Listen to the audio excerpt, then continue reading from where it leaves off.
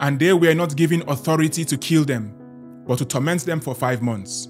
Their torment was like the torment of a scorpion when it strikes a man. Scorpions may be symbolic of torments. Scorpions may also represent demonic forces.